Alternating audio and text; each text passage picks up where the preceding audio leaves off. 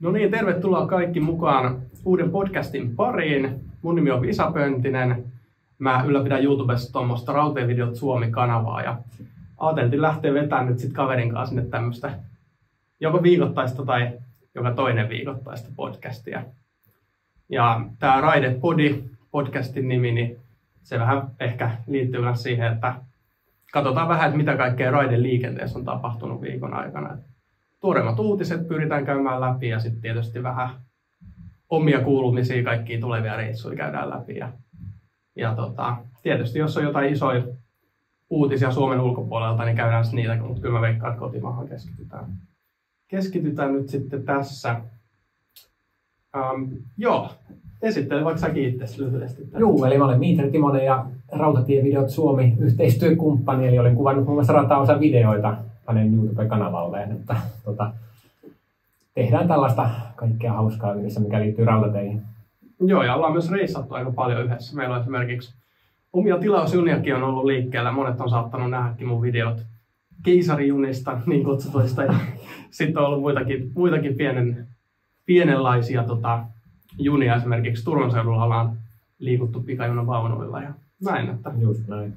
On tykätty kyllä yhdessä reissata aika paljon, mutta Mulla on tässä muutamia rautatieliikenteen uutisia otettu ylös, mitä on tässä ihan viime viikkoina käynyt, niin voidaan vähän niistä vaikka keskustella. Että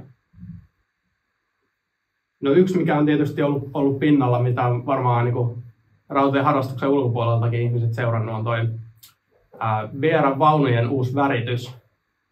Eli tota, VR oli tämmöinen niin suunnittelukilpailu, missä, missä tota, ää, niin kuin kilpailu käytännössä koski sitä, että kenellä on paras designi VRn uusiin vaunuihin ja, ja sieltä saisit valita tota, erilaisia vaihtoehtoja. Mun mielestä kaikissa vaihtoehdoissa oli yhteistä se, että ne oli kaikki niin kuin vihervalkoisia. Joo, mäkin kävin äänestämässä, mutta mä en muista enää, mitä mä äänestin, mutta se ei tainnut olla se, mikä voitti. joo, joo. Sitten niillä oli, mikä mulle jäi mieleen, eikö niillä ole jotkut englanninkieliset nimet? Oli, oli, oli. Joo, se oli vähän hassu, että miksi Mä yritin jälkikäteen katsoa niitä, mutta mä en löytänyt sitten enää, että mikä se oli. Joo, joo. Tota, katsotaan, olisiko täällä... Olisiko Mikä oli se voittajan nimi? Uh, Venas, se oli joku Green jotain. Mm. Mä löydän sitä. Se ei ollut se metsä, semmoinen, se pöheikköinen metsä. Mä en tykännyt siitä, se ei mm. ollut ainakaan se, sen mä muistan. Mm, joo, joo. No se oli niinku mielenkiintoinen uutinen. Sitten jännä, mikä siinä oli uutisessa, mikä mulla sit pisti silmään, oli se, että ähm, kun mä luulin, että se koskee niin kuin, käytännössä melkein kaikkia uusia vaunuja, tai vähintäänkin kaikkia niin kuin, sellaisia, mitkä valmistetaan vasta ja tulee niin tuotanto. Mutta sitten kävi ilmi, että sehän on vain yhteen vaunuun sitten tämä uusi design. Oliko se näin, että se tulee nyt se kokeilu, että se on yksi vaunu ja sitten se tulee myöhemmin kaikkiin vai? Joo, se voi hyvin olla, että se tulee tota, sitten jatkossa. Kyllä mä ymmärsin ainakin, että se oli nyt kaikki kalusto sitten mm, tehdään jossain joo, vaiheessa joo. sillä vuosilla. Vähän niin kuin nyt esimerkiksi noin ravintolavaunut, niin niissäkin on pikkuhiljaa sitten niin tehty se uusi, uusi design. Että joskus oli vielä pari vuotta sitten oli vielä niitä esimerkiksi RXI punavalkoisella värityksellä, niin kuin, no ei nyt, ei nyt pari vuotta sitten, mutta että, niin kuin niissä on pikkuhiljaa tullut se Juu. väritys. Ja, ja tota, no ei taida olla siis, siniset vaunut on ainoa, missä ei ole niin kuin IC-väritystä. Kyllä. Johan tuossa alkaakin olemaan no jo ollut joku kymmenen vuotta vähintään noin nykyiset teippaukset, niin Mm. Ihan hyvä vähän virkistäytyy. Niin, jep. jep. Jossain jo vielä ne 150 vuotta teippauksetkin. Niin. 2012. Nythän on silleen jännä toi, kun miettii noita teippauksia ja värityksiä ylipäänsä, niin nehän on niin tosi paljon niin kuin silleen, että, että tosi harvassa vaunussa on mitään erillistä väritystä enää. Mm. Et tuntuu, että käytännössä melkein kaikki vaunustot on vihervalkoisia. Ja sitten on ihan muutamat yksittäiset junat, mitkä on jotain muuta väriä kuin joo, joo. Kun aikoinaan miettii esimerkiksi 90-80-lukua, niin pikajunavaunuissakin saattoi olla eri värisiä tunnuksia. Esimerkiksi ravintolavaunussa oli punainen raita ja Ykkösluokassa oli keltainen, keltainen raita. raita. Ja sitten niissä oli vielä erilaisia tekstejä kyljessä, missä luki kaikkea, että Intercity tai Juu. tai ravintolavaunu tai lasten joku leikkivaunu. Nykyään viestitään enemmän kuvilla kuin tuota tekstillä. niin, se on ihan totta. Se on ihan totta. Ja sitten se on, niin sisätiloissahan on näkynyt se iso muutos, että sisätiloja on niin kuin sisustettu tosi erityyppisesti. Esimerkiksi toi ERD-ravintolavaunu, niin siellähän on, siellä on ollut varmaan kolme neljä erilaista sisustusta kokeiltu. Niin, Jossain vaiheessa se oli se, niin kuin, se eka väritys oli aika semmoinen niin pelkistetty, tosi valkoinen ja semmoinen niin kuin, kirkas Sitten oli välissä semmoinen niin kuin, vielä ruskeampi väritys. Se oli se Robert Scofi jossain vaiheessa kanssa, eikö se ollut? Joo, niin joku tämmöinen yhteistyö. Joo. Joo. Joo. Ja nythän siellä on semmoinen vähän niin kuin ruskea, mutta kuitenkin vi- vihervalkoinen edelleen kuitenkin. Aikamoista laboratorioa. Se on, se on. Mutta kyllä se niin kuin noissa ravintolavaunuissakin, niin ei niitä vanhoja ravintolavaunuja voittanut oikeasti mun mielestä. Ei. Kyllä niissä on kaikista parhaiten sitä tunnelmaa ja fiilistä. Esimerkiksi nyt kun käytiin tuolla Kolarissa, niin ää, vaikka se RX ei noista vanhoista vaunuista ole ehkä se kaikista hienoin, Mm. niin se on kuitenkin aika Niin, tyylikäs. ja siinä on hyvä se tilaratkaisu, että se ei heti täyty, kun kaksi kaljajuojaa on siellä. Niin, Niin, niin. ERD täyttyy heti, kun siellä on pari ihmistä. ERDssä siis pahin, pahinhan on se, että kun sä tuut sieltä ERDn ylätasanteelta alas, niin siinä on niitä pikkusia kahden hengen pöytiä ja se joudut niiden ohi niin siinä. Ja sitten kun siinä on vain yksi niin penkkirivi, niin ei siinä mahdu istumaan edes kunnolla, kun kaikki ravaa siitä ohi. Että se on vähän miinus. Toki ERDs on taas iso plussa yläkerta. Et siellä, No on, joo, kyllä. siellä on hyvät ne, ensinnäkin ne vastakkaiset pöydät on tosi kivat. Joo. Ja sitten kun siellä pyörivät Mä oon yhden kerran ollut ERD yläkerrassa ja se oli sen takia, kun oli, juna oli myöhässä ja sitten ei ollut normipaikka enää vapaana, niin sitten konnari sanoi, että voitte mennä tuonne istuun tuonne yläkertaan. Mm, okei. Silloin tuli testattua. Niin joo. Oli hauskaa. Joo. Kerran mä ostin ERD yläkertaan, mutta sitten taas juna oli myöhässä ja sitten joutui bussikuljetukseen. Just, eli se, se, jäi, se jäi kokematta. Saiko se sen takaisin? Sai takaisin. Joo, joo. joo, siis ERD yläkerta on siis silleen erikoinen osasto, että ää, se on myynnissä normaalina paikkalippuina, vaikka se on ravintolavaunussa. Ja sitten jos siellä sattuu olemaan tilaa, niin sinne periaatteessa voi mennä niin kuin syömään, jos olet ravintolavaunun asiakkaana, vaikka sulla olisi paikkavarausta siellä. Että tota, tai niin mä oon nähnyt jonkun tekevän niin, että se on ihan hauska. Juu.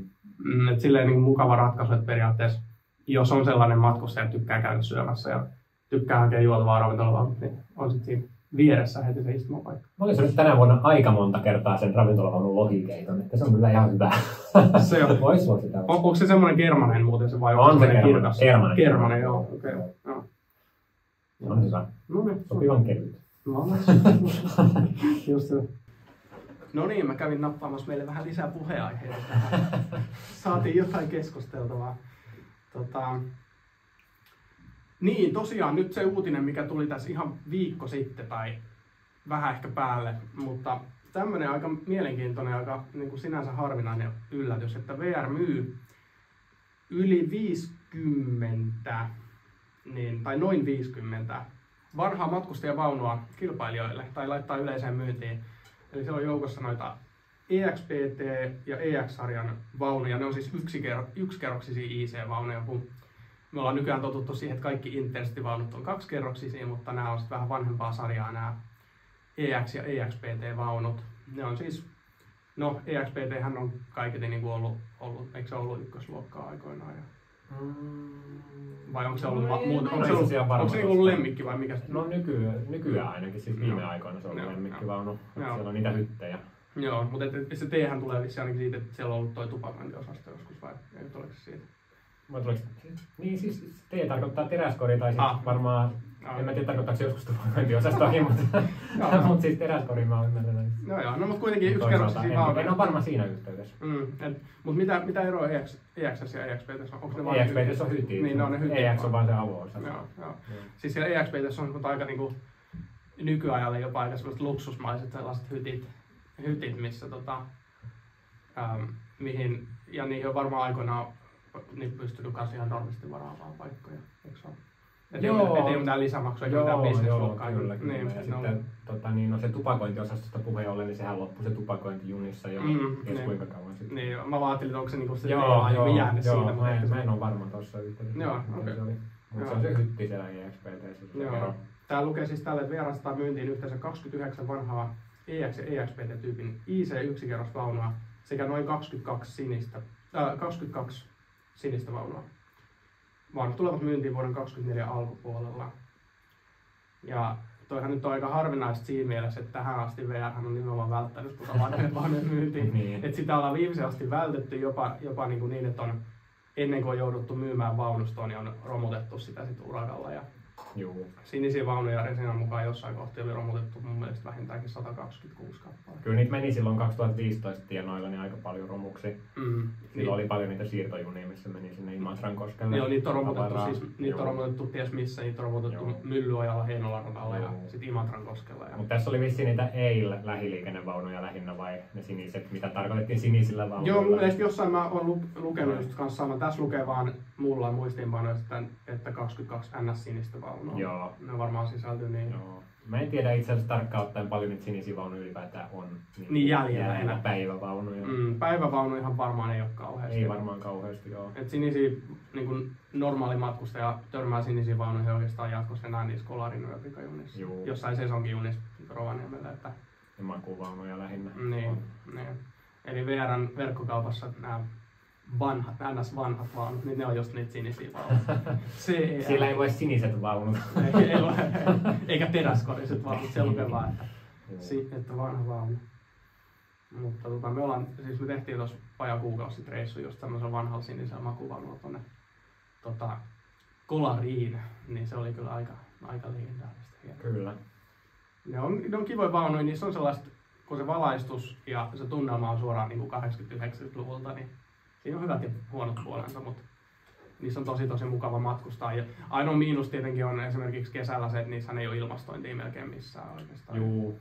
Toinen miinus on tietysti se, että äänieristys on yöjunassa aika olematon. Mutta toisaalta mä annan kyllä plussan tästä äänieristyksen vajavaisuudesta sikäli, että siinä ei kuulu toisten hyttien äänet sitten niin häiritsevästi. Että mua ainakin itteeni häiritsee enemmän se, että toisesta hytistä kuuluu niin kuin ihmisten ääniä. Niin, että ennemmin kuuntelee Niin, ulkoa. tasasta kohinaa. Mm, Mm, se on niin. kyllä, siinä on puolensa, että näin. Mm. Mutta- Et jos, jos niin nauttii siitä junamatkustuksesta Mm. ja nauttii siitä yöjunassa olemisesta niin kuin, ei sen kohteen vaan sen matkan vuoksi, niin sittenhän se on ihan jees kuunnella sitä ääntä ja kolinaa, mutta jos sä vaan haluat nukkua tosi syvät yöjunet ja olla mahdollisimman hiljaisessa, niin sitten ehkä uusi vaunu on parempi.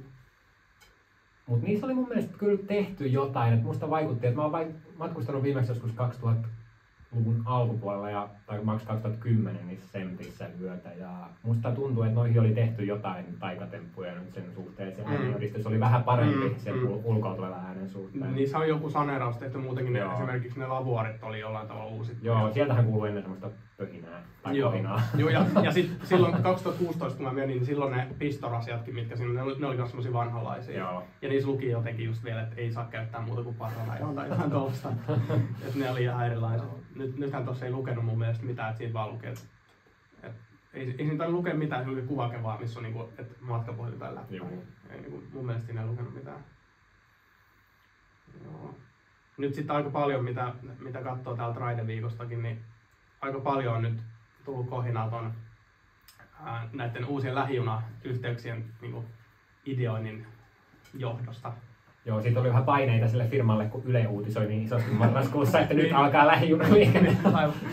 Joo, ja, siis, ja, ja, ja, ja, siis se oli oikeasti, mä niin kuin, oikeasti naurahdin jopa, että mi- miten pitkä se lista oli niistä Joo. kaikista mahdollisista rataosuuksista. Että se, kovin rea, niin kuin, se kuulosti tälle rautatieharrastajan näkökulmasta, että se ole kovin Joo, reaalista. etenkin tämä Joensuu Siilinjärvi rataosa. Niin. se on kyllä aika On. eksoottinen. Joo, ja toinen, mikä oli tosi erikoinen, että on siis tämä Savonlinnasta tonne Rantasalmelle, eli käytännössä niin Huutokoskelle ja Pieksämäelle asti kulkeva rata, niin sehän on siis osittain jopa purettu. Sieltä on yksi silta purettu kokonaan. Se on siis tietenkin se on hyvässä kunnossa sin- sinänsä, että se on kunnostettu ja perusparannettu aika iso rahalla, niin kuin ihan tyyli milloin se oli 10 vuotta. Niin. niin kuin ihan silleen niin kuin suunnilleen, 2000-luvulla joo. kuitenkin ihan, että aika, aika, niin kuin, aika lyhyen aikaa sitten periaatteessa. Mutta se on erikoista, että kun sieltä on liikenne loppunut, tavaraliikennettä eikä mitään ei ole, ja sitten sen seurauksena sieltä on vielä purettu se yksi rautatiesilta, ja sitten siinä ei ole sitä siltaa eikä kiskotusta, ja sitten ne asematkin on tietysti sellaisia, että ei niissä ole mitään henkilöliikenne niin infraa ollenkaan, eikä mitään laitureita, eikä mitään niin kuin tieyhteydetkin voi olla jopa vähän heikkoja. Mutta nyt Niin. on rajoitteita sit sen suhteen, että minne voi tulla ylipäätään liikennöimään sen, että missä on se ostoliikennesopimus voimassa, niin sinne ei niin helposti Mm, pääse. niin, Sitten, aivan, että Aika aivan. paljon sellaisia ratauksia on. Mutta siinä varmaan alkaa nyt niinku kuntien ja tuon yhtiön keskenkin aika iso selvitys just siitä, että et mitkä niinku näistä on oikeasti varteutettavia. Et, et se kuulostaa vähän sille, että sinne on heitetty niinku erilaisia vaihtoehtoja vaan niinku mahdollisimman paljon niinku ilmoille, ja sitten kunnat ja muut lähtee myös miettimään, että onko mikä näistä nyt realistinen. Juu. Esimerkiksi joku uuden kaupungin rata ja tämä Turun seudun lähiliikenne, niin sehän on niinku aika kysytty ja aika niinku Mm. pitkälle edennytkin sinänsä. Niin, ja Ukiradalla ei ole mitään liikennettä tällä hetkellä, niin se on sikäli vapaata riistaa. Mm, niin, Et niin. Paljon sellaisia ratauksia, missä on mm. tota, niin sitä ostoliikennettä, niin sinne ei voi... Niin kuin, ja toinen, mikä tuossa suuren kaupungin radassa on, niin sehän on niin kuin suht ikään kuin äskettäin mm. ää, lopetettu se henkilöliikenne. Niin. Että siitä ei ole niin kuin, mitään ihan ikuisuutta, toisin kuin jossain... Niin, Unkirada on toki se, mä ymmärrän sen aina aikoinaan sanottu sitä, että siellä on kaikki asemat keskellä peltoa, että ajamaan aina vähän niin, sivussa. Että, eli, eli, no mutta isoimmathan, mitkä no niin, se pitää pystyssä se uuden kaupungin autotehdas. Mm. Ja, ja, ja sitten siinäkin on se, että kun sekin on vähän silleen, että no nythän siellä on taas tilauksia vissiin moneksi vuodeksi. Mutta se on vähän just, että, että kuinka paljon sitten loppujen lopuksi vetää, jos siellä ei ole, ei ole tota, mm. jos se jossain kohti on vähän niin kuin pienemmällä teholla sitten, niin. jos vetää. Vaikea sanoa, miten sitten vetää. Sinne on kai vieläkin niitä bussikuljetuksia sinne autotehtaalle. Ainakin niin, jossain vaiheessa oli. Niin, ja sit, ja, siinä on se, että ne vie suoraan tehtaan pihaan, että mm. junalta joutuu kävelemään tai menemään taksilla. Niin. Mutta se asema kai niin kaukan siitä tehtaasta kuin keskustasta. Ei, ei olekaan. Mm. Mm. Joo, se on ihan jännä. Mun yksi kaverikin jossain kohti siis oli töissä sieltä Turusta käsin, niin niillä oli siis ihan auto, että joku, joku kaveriporukasta aina autolla nappasi jengin kyytiin Turusta. Että kyllä se niinku tehtaalle nimenomaan on sitä kysyntää. Sinnehän suunniteltiin jossain vaiheessa sitä raideyhteyttäkin, että se oli se, mikä olisi ollut se uusi kaupunki Kiukainen vai mikä tämä oli tämä rautatie, niin sitten on niin, pistoraide mikä, sitten sinne mm. autotehtaan. Niin, aivan. Joo. Se ei toteutumatta. Niin, jotain, olisiko ollut 70-luvun suunnitelmia. Joo, 60-70-luvulla oli vielä itse asiassa jonkin verran kaikkia tuommoisia ratasuunnitelmia. Mm. Et, ja silloinhan rakennettiinkin sitä aika paljon esimerkiksi Parkanon rata ja sitten toi Jämsän, Jämsän Jyväskylä, niin nehän molemmat taidettiin rakentaa 70 Ja tota, sitten tietysti jotain teollisuusraiteitakin rakennettiin aika paljon vielä. Mutta no, jos miettii sen jälkeen rakennettuja ratoja, niin ne on ollut tommosia niin oikeasti aika isoja projekteja, niin kuin joku oikorata ja lentokenttärata. Mutta tota, Juu, niin, mitä tässä on rakennettukaan. Niin. No talvivaararata tuli mieleen. Mm, mm. Tuntuu, että siinä oli välissä aika pitkä tauko varmaan lama ja muiden johdosta. Juu. Sitten kun mä katsoin, niin jossain kohtaa mä katselin vähän noita rataisia niin valmistumisvuosia ylipäänsä, niin joskus niin kuin 1900-luvun alusta johonkin 20-luvun lopulle, niin siinä aikana on rakennettu ihan järkyttävä määrä rataosuuksia. Joo. Ja niin kuin, että 30-luvullakin on vielä rakennettu ennen sotia niin kuin, niin kuin todella monta rataa, saatu yli varmaan viisi tai kuusi. Sehän on hauskaa, että nykyäänkin vielä rakennetaan uusia tasoristeyksiä. niin, samaan aikaan kun niitä Silloin jos tehdään uusi rautatie, niin, niin. sitä voidaan saatetaan rakentaa vielä uusi tasoristeys. Mm, vaikka niitä poistetaan samaan niin, aikaan niin monet radat. Mutta se on just tavallaan sekin, että, että jos on rakennettu 40-luvulla tai 50-luvulla tasoristeys, niin siitä on vaan vedetty tietiäksi niin, niin radan yli ja, ja se on ollut that's it. Et nykyään se on aika paljon isompi ja monimutkaisempi prosessi. Ihan niin kuin syystäkin tietysti, jotta vältetään kaikki onnettomuudet ja muut mahdollisimman tehokkaasti. Ja nyt tietysti sähköistys, mikä liittyy myös noihin tasaristeyksiin, niin niitähän kanssa nyt aika paljon valmistuu tässä. Et, no täällä on tämmöinen uutinen, että Iisalmi ja Ylivieskan radan sähköveto on ilmeisesti alkamassa helmikuussa 2024. Sen sijaan komponenttipulan vuoksi Iisalmen uusi kolmioraide otet, otettaneen käyttöön vasta kesällä 2024. Ja nythän on muitakin sähköistysurakoita käynnissä esimerkiksi. Okei, okay. no, se ei ole, mä luulin, että se oli jo valmis. Itse asiassa kun mä menin siitä just tota Iisalmesta, niin se näytti ihan siltä, että se oli käyttökunnossa. Niin, ai niin se kolmioradio. Niin. Joo, joo, en tiedä sitten mikä siinä nyt on. No. Joo, on sillä ei ole virallista käyttölupaa vielä. en mä tiedä. Komponenttipula, että mä en tiedä mihin se viittaa. Okay. Mutta miksi se koskee vaan pelkästään sitä sit kolmioraidetta eikä sitä koko En tiedä mikä juttu siinä on. Sieltä puuttuu se pieni palanen, mistä pääsee, niin. pääsee siihen kolmioon. Niin. Ja toinen, mikä nyt, mikä nyt on valmistunut siis jo, mutta mikä avataan nyt vasta, niin ää, on toi Hangoradan niin sähköliikenne. Et sehän alkaa nyt kahdeksas päivä tammikuuta, vai olisiko ollut seitsemäs päivä illalla, niin kulkee ensimmäinen Hangoradan henkilöjuna Helsingistä Karjan kautta Hankoon, että se on myös ihan uusi juttu. Onko rautatievideot Suomi paikalla, kun menee ensimmäinen Sami, vai mikä on? Äh, se on vähän, se ajankohta vähän ehkä silleen ki- kiusallinen, kun pitäisi olla joskus puoli yhdentoista aikaa niin, illalla Hangossa, ja sitten sieltä, sieltä pitäisi, niin joku pitäisi olla yötä jossain tai lähteä Vähän auki on. Saa nähdä, että jos mä saan kaverin Tampereelta mukaan, no. mahdollisesti. Kiinnostavaa liikennettä joka tapauksessa, koska siis uudenlaista niin. kalustoa Hangon radalle. Niin, joo, ja sehän on SM4 todennäköisesti, Juu. niin se on sitten ihan kiva, kiva nähdä, niin kun on tottunut, että ne on vaan tossa. Joo, siellähän oli siis, oliko se marraskuussa vai lokakuussa, milloin oli ollut niin koeajoja sinne mm, joo, joo, kyllä. Testasi, että meneekö ne, toimiiko ne kiskot siinä tota SM4 pyöriin. Just näin. Piti kokeilla. Mm, joo, joo. Jep. Mitäs muita uutisia täältä katsotaan? Niin täällä oli se nimi sille tosiaan sille junan ulkoasukilpailun voittajalle. Se on Green Steam. No niin. Vihreä höyry. Yleisäänestys keräsi yli 20 000 ääntä. Ja sitten tuon kilpailuun osallistuu 186 työtä, joista voittaja on Aimo Katajamäen Greens Team niminen työ. Joo, semmonen. Voittajien ehdotukset toteutetaan yhteen kaukoliikenteen junavaunu vuonna 2024.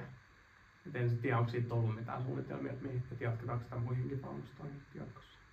Niin, koska niin, se, mä, koska, mä ymmärsin, että tämä tulisi kuitenkin sit jossain vaiheessa mm. jo, jo, jotenkin. Niin koska niin, yksi, siis, yksi samanlainen projektihan VR on ollut aiemminkin jo se, tota, se jonkun tota, niin se ravintolavaunu, mikä on Niin se joku, ra- niin joku, taiteil, niin kuin joku just taiteil, vaan missä on niitä kiskoja, joo. semmoinen mustavalkoinen. Niin se oli taide. se yksi, mutta se oli kai joku vaan ihan tämmöinen niin kuin taideprojekti niin, muuten vaan. Mm, niin, että se ei ole semmoinen ikään kuin kilpailu siinä mielessä.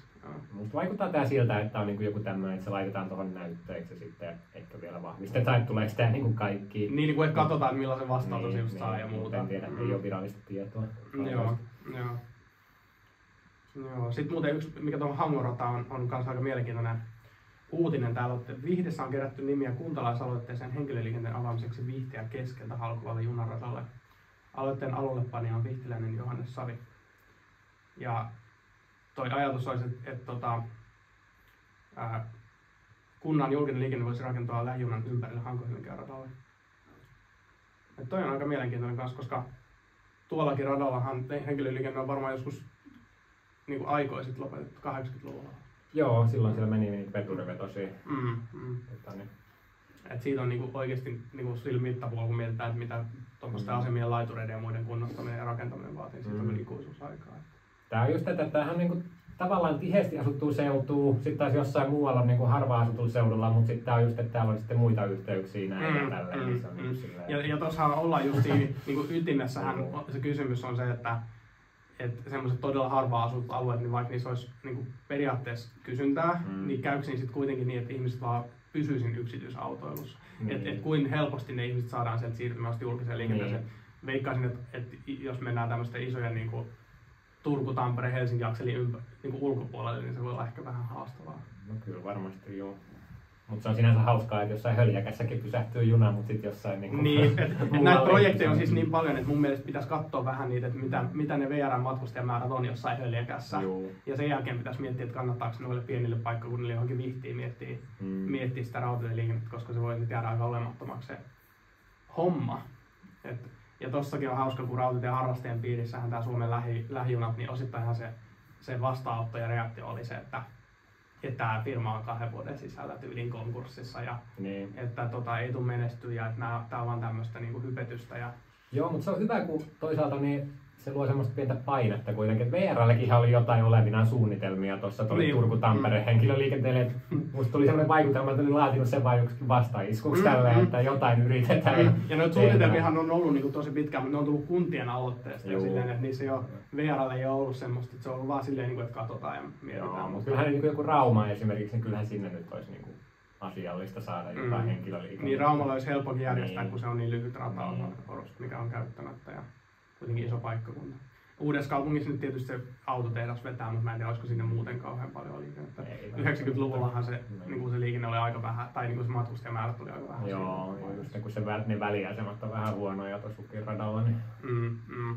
Kun ne on silleen, että niitä ei ole välttämättä vedetty edes niin kuin kirkon kylänkään kautta, niin, ne on vaan vedetty niin. niin kuin oikeastaan, oikeastaan suoraan. Niin, Vehmaalla on Vinkkilä, sekin on sivussa. Tai no, mm. Vinkkilä on ehkä No se on taajama, mutta sitten niinku... Niin ja Vinkkilästäkin on tullut niin, silleen taajama. Mynämäki on ihan keskellä peltoa ja sitten taas niin. Masku on jo niin lähellä Turkua, että sieltä kaikki pääsee jo muillakin kyydeillä. Niin ja Raisiokin on kaukana sieltä kirkon kylältä niin, periaatteessa. Niin, Et siinä on vähän, vähän et siinä on ollut ajatus vaan, että no niin nyt tarvitaan ne uuteen kaupunkiin. Tämä ratayhteys, se on vedetty soft suoraan siinä. Sehän... Bussifirmathan kammoksuu tota, koska sitten niitä kaikki asiakkaat. Nehän ei missään niin, tapauksessa halua mm. tätä. Niin, niin. No joo, mutta se on ihan tervettäkin oikeastaan, että saadaan tuota henkilöliikenteen kilpailua vähän lisättyä. Että se on kuitenkin ollut tota, niin pitkään tämmöinen monopoli pyörinyt. Tuleeko nyt muuten hetkinen 20 vuotta, ei kun, ei kun 30 vuotta, mihin mi, se ukiliikenne loppui silloin? Öö, 91 vai oliko se vähän myöhemmin? 93 alusta vai? 93 vai 90. Niin. Aika lailla, mutta aika lailla 30 vuotta on mm, siitä. Okay. Se oli jännä, että silloin loppuvaiheessa niin kuin, vaikka tietenkin pysähti isoilla asemilla vaan, mutta sitten siellä joukossakin joku Kiimkallio. että siellä kuitenkin pysähti. Joo. Vaikka sehän on niinku täysin keskellä, ei mitään, siellä ei todellakaan ole yhtään tietä. Ei mitään tiedä tiedä. Siinä on se yksi niinku ratavartijan mökki siinä seisakkeella ja sitten ehkä joku yksi maalila jossain parin kilsan päässä se on niinku siinä. Joo. Se on, koska siellä ei ole edes peltoja eikä maa, maa, niinku maanviljelyä, että se on vaan metsää. Jossain hän luki, oliko se Vorkissa vai missä liian ollutkaan, niin että siellä oli Marjan poimijoita, oli suuri osa niistä matkustajista. Ai Kiimkallio. niin. Ei hemmetti. Ei kun Maarijärvi varmaan oli tää, mutta ihan Ai, vastaava. No on vastaavia, Joo. ne on vastaavia. Joo, aika erikoista joo. Oletko muuten lukenut tästä Trail Balticasta mitään seurannut? Oon mä silloin joskus joo, tota, tai aina välillä. Et, tota, Joo, sehän on, niinku- eikö se ole ollut kanssa aika no se olisi, joo, se olisi kyllä aika tärkeä. Nythän on aika huono toi, tai hankala matkustaa tuolla Baltian maissa, kun Mm. niin kuin tosi huono yhteys. Joo. Täällä on siis tälle Trail Baltica julkisti tarjouskilpailu tähän 53 kilometrin rataosuuden rakentamisesta Virossa. Ne alkaa keväällä ne pääradan alkuosuuksien rakennustyöt. Okei. Kyllä se joo. siitä sitten lähtee eteenpäin. Joo, mä matkustin silloin 2019 sieltä Riiasta tonne Tallinnaan ja silloin se Valkas on se junanvaihto ja se on aika nykyään ainakin kökkömäinen yhteys, että siellä voi joutua puoli päivää odottamaan. Ai jaa, okei. Okay, joo. Ja se kiertää sieltä Itä, Itä-Viron kautta. Mm, joo, joo, Se joo. on aika hidas. Joo, joo. No niin, onkohan täällä mitään erikoista. Ai niin, nyt sitten tämä meidän rakkaan, mainittiinko me jotain, että meidän rakkaan tota, vaunukaluston kohtalo Turussa on päättynyt. Ei mainittu vielä, mutta se on päättynyt. Joo. Meillä on ollut siis, tai siis ei meillä vaan, höyryveturimatkat tonni 9 Oyllä on ollut. Turussa kalusto on muun muassa no, tämmönen TK7 ratakuorma-auto ja sitten pari sinistä vaunua. Ja sitten muun muassa aika erikoinen hankinta, yksi semmoinen GBL-sarja on tämmöinen umpilainen tavaravaunu, mitä ei varmaan ikin Turussa edes käytetty. Joo, se oli se toinen jäi vielä Turkuun. Yksihän meni Kouvolaan silloin jo pari Mm. vuotta sitten. Oli. Joo, ne on aika erikoinen hankinta, mä en tiedä miksi ne on hankittu. Mutta ne on ollut Turussa säilössä, moni on ehkä joku, joku on saattanut nähdäkin ehkä tuossa Turun ratapihalla säilössä, semmoiset vanhat siniset vaunut, niin ne on ollut semmoista tilausjunakalustoa, että niitä on sitten järjet, tai tämä operaattori on käyttänyt niitä esimerkiksi erilaisiin volttarijuniin ja tämmöisiin johonkin synttärijuniin ja me ollaan matkustettu varmaan tyyliin ehkä puolet kaikista ajoista, mitä niiden on tehty. No, ainakin kolmas osa. Ainakin kolmas. Me ollaan käyty siis aika lailla näitä Turun seudun ratoja melkein kaikki läpi. Ollaan käyty Humppilassa, Turun satamassa, Turkuhallin seisakkeella, ää, Naantalissa, Raisiossa. Ja sitten 2021 oli tämä tietysti tämä Niinisalo-keissi. Niin, siellä käytiin myös jo veturin kanssa. Oli monipäiväinen. joo. Ja sitten tehtiin rengasajo muuten myös tuosta Turusta ää, niin Karjaan ja Hyvinkään kautta Toijalaan ja sitten sieltä takaisin Toijalaan. Rataa. oli Turusta Turkuun kulkeva juna, sellaisia ei ole pahemmin ollut. Vanha kunnon rengasreitti. että Joo. VRLlähän oli vielä, varmaan vielä 80-luvulla on ollut näitä rengasreittejä virallisia, Mm. mitkä on ollut siis niinku tämmöisiä ympyränmuotoisia junareittejä jossain niinku hienoissa maisemissa, jossain Järvi-Suomessa ja Lapissa ja Kainuussa ja tuolla. Niin ne on ollut aika legendaarisia. On voinut mennä porkkana junalla tai jollain vanhalla erikoispikajunalla. Nyt ei pääse Turusta rengasreitille, koska rata on poikki. Niin rata on poikki kupittaalle, että siihen rakennetaan kaksoisraidetta. Ja se on varmaan kans... Valmistua ensi vuonna. Niin, no, niin. Pitäisi Kyllä valmistua. se nyt on näyttänyt itse asiassa edistyvän jopa. Joo. Toivon mukaan. Turussahan on niinku aika tämmöinen negatiivinen historia näissä rakennusprojektien valmistelussa. Turun kaupungin karma tarttuu myös näihin väyläviraston projekteihin. Mutta se on harmi nyt, kun tonni yksin kalusta meni pois, niin ei voida vetää sitä avajaisjunaa Niin, ainakaan niin helposti. Mm. Sitten täytyy ottaa kalustoa tai tilata juna jostain Näin. Oli suunniteltu, että mentäisiin niinku silloin aamulla, kun se aukeaa varmaan joku maanantai aamu kello neljä, niin sitten olisi pitänyt mennä ekalla junalla niinku, ennen kuin VR Niin ennen kuin, ennen kuin muut operaattorit niin. Nyt taitaa käydä huonosti. Mm, joo, saa nähdä miten. Mutta Miten se se, on ihan mielenkiintoista nähdä silti, kun se toteutuu. Joo, o, onko sulla muuten mitään tietoa siitä, että mi- mikä toi ajatus on, niin kuin, että miksi, minkä takia kaksoisraide just tuohon välille? No, Niin kuin, että miksei sitä kaksoisraidetta rakentaisi sitten ennemminkin vaikka, niin kuin sanotaan, että vaikka Turusta Saloon sama. no mun henkilökohtainen mielipide on, että toi ei hyödytä mitään, mutta mä ymmärsin jossain vaiheessa, että se oli niinku se niinku eka vaihe sitä kohti Mm, mm, jossain okei, vaiheessa niin, sitten. Mutta niinku tollasenaan niin toista ei mun mielestä ole mitään käytännön hyötyä, Mm. rehellinen mielipide. Mut, No periaatteessa yksi mikä voi olla on se, että tota, et, et jos tuommoinen pienempi projekti on niin helppo, helpompi saada rahoitukset ja muut niin, läpi, varmaan juu. se voi olla Joo. tietysti ihan.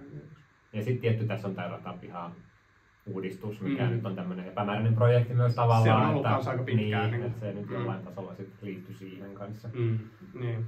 Että Turun, Turun eikö tämä Ratapia-projekti käy, niin käy sitä käytännössä, että nykyinen asemarakennus jäisi Joo. pois. Se jää sinne. Ja sitten tähän Logomon ja linja-autoaseman välille tulisi niin kuin tämmöinen uudenlainen niin kuin matkakeskuskonsepti. Joo.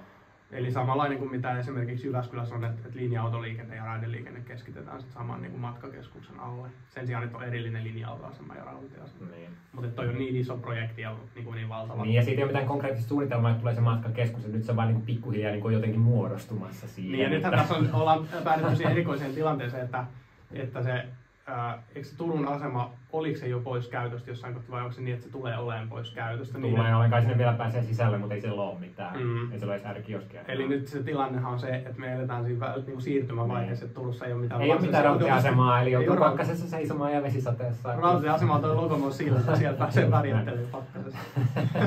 Tähän liittyy tämä hauska juttu, kun uutisissa sanottiin, että rautatieasema tulee Lokomo sillalle, niin sitten kaikki toimittajat luulivat, että tulee sen sillan Niin, päälle. Niin, no joo. niin, mutta se tarkoittaa sillan luokse. Niin totta kai niin kuin sillalle. Just Mm, näin. niin. Sillan kohdalle. Joo, se Mm. oli vaan niin huvittavaa. Siinähän on paljon siis tämmöistä vähän niin kuin joutomaata. semmoista Joo, ja nyt siellä, nyt siellä on rakentamassa vissiin niitä sillalta niitä tota, portaita lai- laiturille.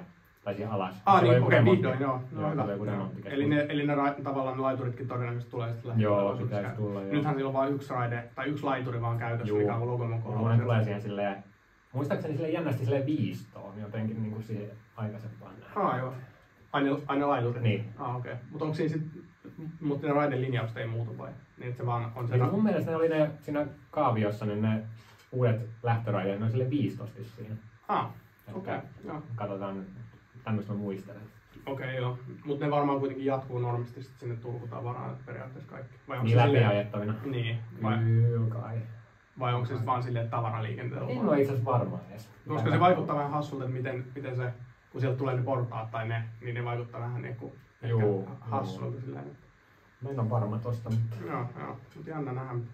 Joo, ja sitten yksi tietysti, mikä oli aika mielenkiintoinen uutinen nyt monen vuoden, tai no vähintäänkin vuoden jälkeen, mikä olisi voinut paljon aiemminkin tämä päätös, mutta Allegro nimellä kulkeneet SM6 ovat olleet VR ja Venäjän rautateiden yhteisomistuksen Karelia Trainsin omistuksessa.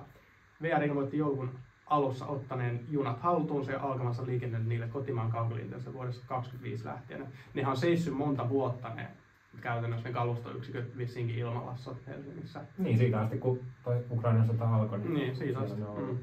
Jolloin, no okei, okay, niitä on yl- pidetty sähköt päällä ja näin poispäin, mutta niissä on varmaan aikamoinen huolto. Joo, ja sitä ennen, eikö se ollut koronatauko? Mm, niin, varmaan, kans joo, voi olla jo. Se on, joo. Mutta ne on siis, siis, vaikka ne kulkeekin Suomen ja Venäjän välillä, missä on eri raideleveydet, niin se raideleveys on sovitettu just siihen Suomen ja Venäjän väliin, kun se Niin. ero on niin pieni, niillä pystyy matkustamaan ilman telivaihtoa molemmissa maissa ja, ja tota, ne on muiltakin osin tietenkin ihan täysin soveltuvista Suomen liikenteeseen, niin nyt ne sitten brändätään uudestaan ja varmaan tota, teipataan uudestaan ja sitten ne tulee ihan kotimaan liikenteeseen. Ne on pitkälti samanlaisia kalustoyksiköitä ää, kuin pendolinot, mutta niissä on myös tosi paljon kyllä eroja. Ja mun muistaakseni niistä taitaa olla seitsemän vaunuakin, kun pendolinossa on vaan kuusi vaunua. Niin, mutta ne on ihan tervetullut lisä kyllä tuohon kaukoliikenteeseen, kun VRLtäkin on aina ajoittain kuulunut ruuhka-aikoin sitä, että meillä on kaikki kalusto nyt käytössä, että ei pystytä operoimaan lisäjunia. Tai... Just näin, ja Mm. oliko ne kaksi pendoa, mitkä hajosi silloin Tampereella siinä jossain accidentissa, niin Joo. onko se vielä pois liikenteestä? En, mä, mä, en, mä, en mä tiedä itse asiassa, onko ne enää, että siitä on kuitenkin jonkin aikaa. Joo. En, en ole varma.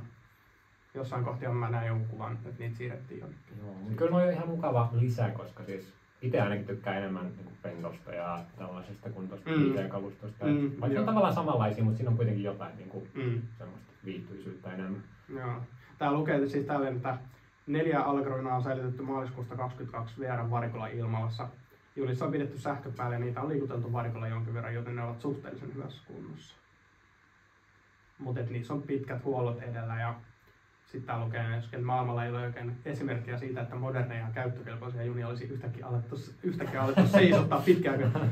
Eli, eli se on tietysti niin kuin, totta kai aika erikoinen tilanne. Mutta mä veikkaan, että kyllä ne saadaan huolettua kuntoon. Ja tuosta on jotkut sanonut, että on jo se myytti, että se liikutteleminen jotenkin auttaisi siihen hirveästi. Että tota, No en niin. tiedä sit itse, en ole mikään tekniikan No asiantuntija, mutta Voisi kuvitella, että isoin on se, että, että jos sulla on lämmitykset ja sähköjärjestelmät Niin, kunnossa, niin ne on niinku se isoin, että, Just että näin. mikään ei pääse homehtumaan tai, Joo. tai niinku ruostumaan tai muuta.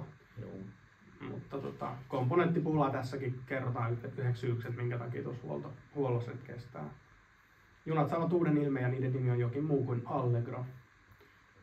Niin, ihan semmonenkin, semmonenkin mielenkiintoinen. VR on nyt jän, jännä tilanne, että samaan aikaan niin kuin paljon uutta kalustoa hommataan ja myöskin nyt esimerkiksi toi Allegro siirretään Suomen liike, kotimaan liikenteeseen, mutta sitten samaan aikaan myydään niin vanhaa kalustoa pois. Joo. Että aika isot kuviot, kun miettii, että jos nyt vertaa vaikka 10 vuoden takaisin, niin silloin ei ollut niin paljon mitään niin kalustohankintoja yhtään niin paljon. Mm. Nyt totta kai oli jotain ja on ollut nämä fliittien hankinnat ja muut, mutta nyt on niin kuin hankittu, musta tuntuu jotenkin tosi paljon. Nythän on tullut uusia dieselvetureita, ää, uusia makuvaunuja ja oliko jotain muutakin uutta kalustoa tilattu. Ja, ja tota noin, niin, no muut kilpailijat on tilannut kans tietenkin tosi paljon, niin, mm. mutta se on ollut tavaraliikenteen kalustoa sitten. Mutta ihan mielenkiintoisia aikoja elää. Kyllä, kyllä. Se on, kiva, kun nyt on tällä hetkellä aika yksitoikkoista kalustoa itse asiassa niin. pitkälti. Niin. Että se on... Kaikki on sisältö valastu niin. valkoiseksi ja ulkoota, ja sini, tota, tai ulkoota viher, vihervalkoiseksi. Ja mistä ei näe enää takaikkunasta ulos. Mm. se on pieni miinus. Eikä tunnelmasi oransseja verhoja. Paitsi, no lyhyen matkaa näkee takaikkunasta ulos Helsingistä Helsingistä Pasilaan yöjunan takaikkusta ennen kuin, ennen kuin autoa tulee junaan kiinni. Se, se on yksi mitä näkee. No, katsotaan, mitähän muuta täällä oli noita uutisia. Semmoisen linjauksen mä ajattelin ottaa, että ei käsitellä mitään negatiivisia uutisia. Se on hyvä. Täällä on paljon tietenkin kaikkea, kolareita ja myöhästymisiä ja allejääntejä ja tommoista. Mutta ei ne ole toisaalta niin kiinnostavia. Ei ole, ne ei kiinnosta. Ne on semmoisia, että niitä väkisinkin aina sattuu, että kun mietitään, että kuitenkin päivittäin liikkuu varmaan satoja junia, niin mm. se olisi ihmekään, ettei sattuisi jotain silloin tällä.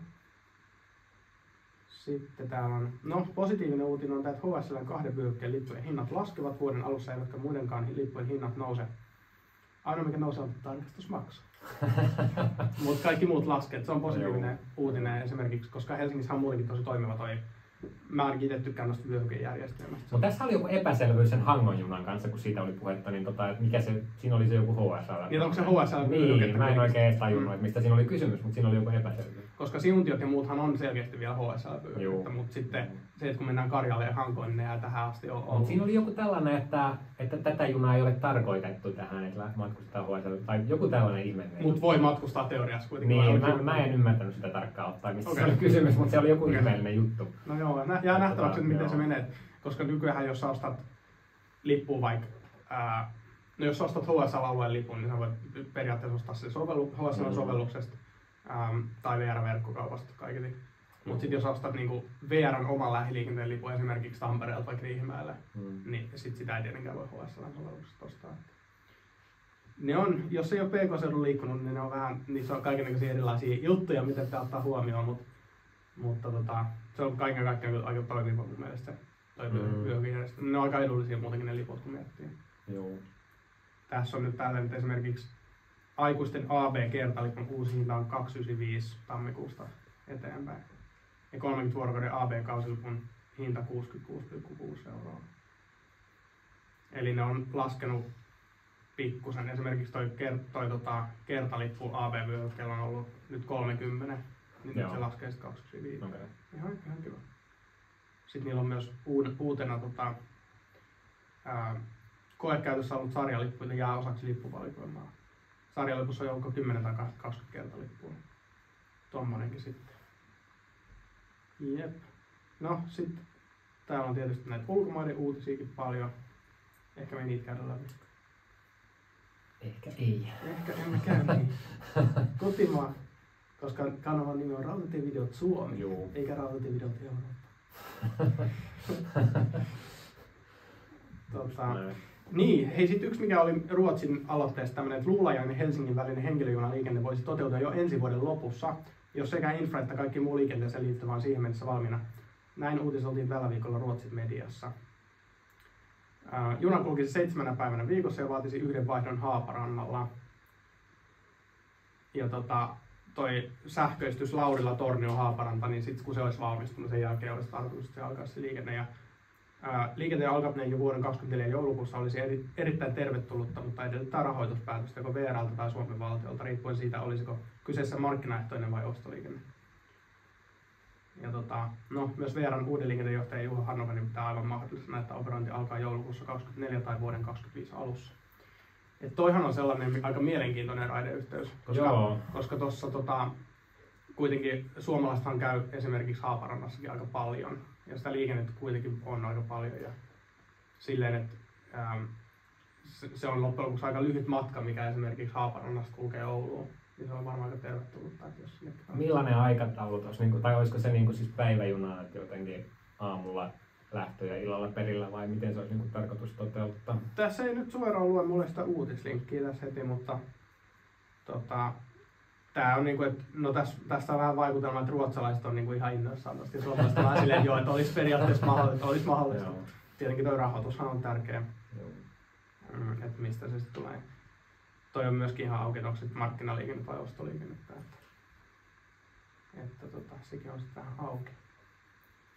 Mutta nyt täytyy sanoa, että nyt on ollut aika paljon VRltäkin tämmöisiä niinku positiivisia suhtautumisia näihin projekteihin. Niin on. Jossain kohtihan se oli sitä, että me niinku uhattiin lakkauttaa vaikka mitä rataosuuksia, Joo. niinku hep, aika suht heppo, ehkä niinku tälleen rautatien harrastajan näkökulmasta hepposilla perusteilla. Esimerkiksi Nurmeksen radan liikennehän oli ihan niinku vaakalaudelta, että se meinasi loppua. Ja Joo, ja jopa se Pieksämäki. Pieksämäkin Joensuu. Joensuukin. Mm, mm. Että se olisi jatkunut vaan tyyliin mun mielestä vaan Varkauteen asti. Joo, joo. olisi loppunut. Et totta kai nehän on tosi pieniä ne matkustajamäärät, Mm. silleen, varsinkin niillä väliseisakkeilla.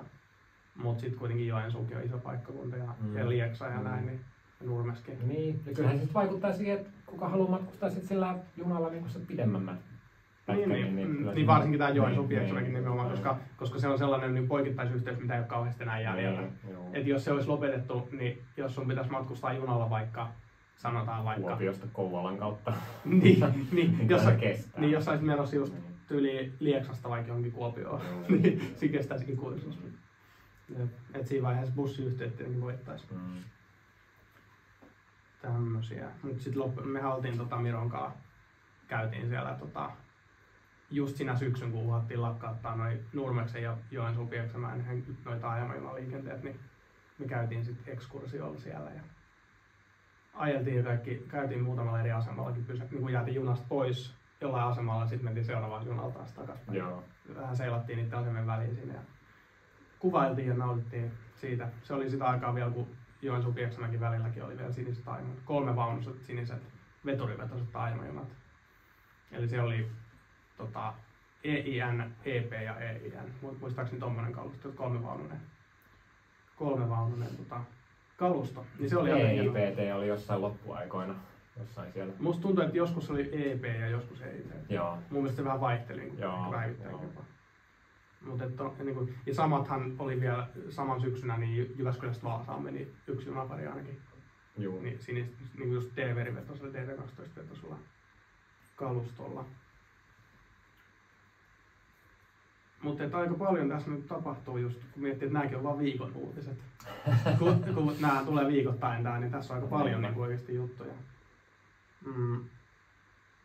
Ja nythän tota, no yksi iso uutinen tuossa vähän aikaa taaksepäin oli se, että, Fenniarelhän hommasi niitä Vectron-sarjan vetureita, eli Mm. mitä VR on jo käytössä useita kymmeniä varmaan, niin, niin tota, Fenniareillekin on sitten tilannut niitä ja saanut ensimmäiset jo käyttöönkin Suomessa. Juu. Mitäköhän muuta täältä löytyy? Teräspyörä Oy on saanut lähes 5 miljoonan euron tilauksen pääkaupunkiseudun kaupunkiliikenne Oylta. Okei. Ra- Raitiotien huoltovaunu. Semmoisen on tilannut. Tonne niin kuin jokeri Joo. ratikalle tämmönen huoltovaunu. Mutta ihan kiva, että suomalaisiakin suositaan sitten noissa tilauksissa. Ratikkaliikenteessä paljon enemmän suositaan niin vielä suomalaista Juu. kuin tota, niin kuin, tota noin, niin kaukoliikenteessä. Mitäs muuta me käydään tässä läpi? Meillä alkaa olla varmaan ihan Aika paljon on kyllä käsitelty. Mukava, mu, mukava pituinen Kyllä. podi tästä tulee. Voidaan varmaan vielä mainostaa vähän tulevia matkoja. Mikäs, mikäs meillä on nyt tulossa kevään isoin reissu? Eli Toukokuuksi on alustavasti puukattu jo Porhalta lättähattu juna TTV-vaunulla varustettuna Oulusta Talvivaaraan vuokattiin Vartiukseen kaksipäiväinen keissi helatorstai. Ja Lahnaslammelle. Niin, unohdin. Eli, eli tota, siis meillä on vuosittainen perinne, ollaan tilattu aina tämmöinen museojuna, yleensä Pohjois-Suomen rautatien harrastajilta Oulusta, mutta myöskin kerran tuolta Suolahdesta, Keski-Suomesta.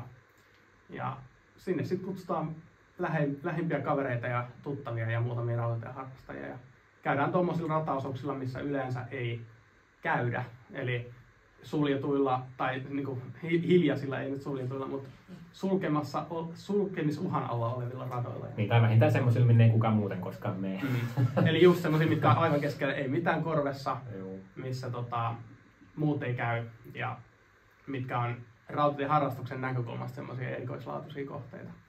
Yksi hienoimmista esimerkiksi tämä nyt jo suljettu rataosuus Ämmänsaaresta niin Pesiökylään, eli tuolla Suomussalmella oleva tämmöinen tavaraliikenteen erittäin vähäliikenteinen rata, mikä on nyt sitten suljettu, koska tänne Pesiökylään on valmistunut iso uusi raakapuuterminaali, minkä johdosta Jäämänsaaren ratapiha ja rata on jäänyt sitten kokonaan tarpeettomaksi, niin me tehtiin sinne yksi viimeisimpiä, ellei Toiseksi viimeinen niin reissu tehtiin, et, mm. mutta me oltiin se viimeinen, joka kävi sillä ihan sen koko Pontiomäki, Pesiökylä, Ämmänsaari, niin sen, että se ei ollut vielä perusparannettu se Pesiökylä asti. Mm. Eli me käytiin aika hyvässä vaiheessa Joo, se. Kyllä silloin kun päästiin vielä M-saareen asti ja sitten kun toi perusparannus oli vasta ihan alkutekijössä. Joo, Porhaan kävi siellä vielä viikkoa ennen kuin se suljettiin. Joo. Joo. Sitten ja... se oli jo pitkälti muutettu uuden, uuden Niin se oli novaistettu. Just näin. Kyllä. Mutta ei mitään, hei tää oli ihan hauska eka podi. Kyllä. Niin mä nyt sitten lataan tämän tonne eri palveluihin ja katsotaan, että tehdäänkö me tästä sitten jatkossa viikoittainen vai joka toinen viikko uusi podi, mutta jompikumpi olisi tarkoituksena. Kiitos kaikille, jotka nyt sitten katsoi tämän videon. Ja ollaan asiaan viikon tai kahden viikon päästä. Näin tehdään. Yes. Ja kiitos Mitille. Kiitos, kiitos.